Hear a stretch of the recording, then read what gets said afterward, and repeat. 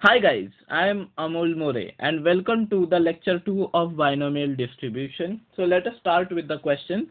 The question says there is a random variable. It follows binomial distribution n is 5 and p is 1 by 3.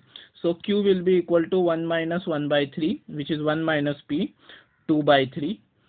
Uh, and they have asked us p of uh, 2 is less than x is uh, less than 4 then what is the number which lies between 2 and 4 it is simply p of x equal to 3 so they are asking us they want success 3 number of times.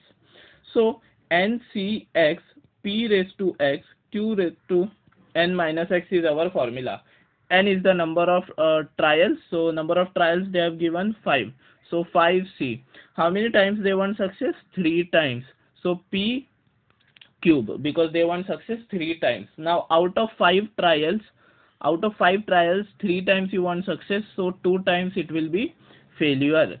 Very simple. So 5c3 can also be written as 5c2 and p is 1 by 3 1 by 3 is cube and q is 2 by 3 2 by 3 square. 5c2 we already know it is 10 1 by 3 cube is 1 by 27 and 2 by 3 square is 4 by 9 so this will be nothing but 40 by 243 so our correct option is option B.